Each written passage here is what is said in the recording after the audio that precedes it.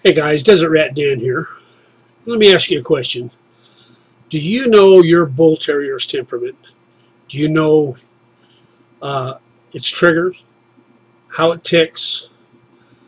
Well, if you're going to do any kind of training, whether it be house training, uh, training them not to bark, any type of training, or just to form a strong and lasting bond, you need to know their temperament the whole breed has a certain temperament about them that you need to know, let alone their individual personalities that'll overlay on top of that.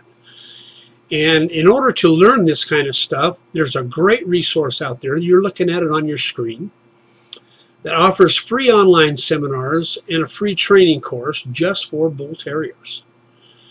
And if you click the link below this video, it'll take you directly to the page you're looking at.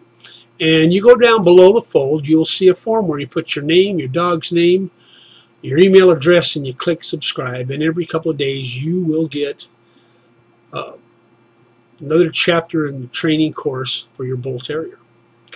And uh, this site offers a lot more than just that. They've got a lot of information, a lot of tools you can use to find out more information about your dog and what's going to be best suited. And all you have to do is click the link below the video, come down here, sign up for this free course. You'll be glad you did.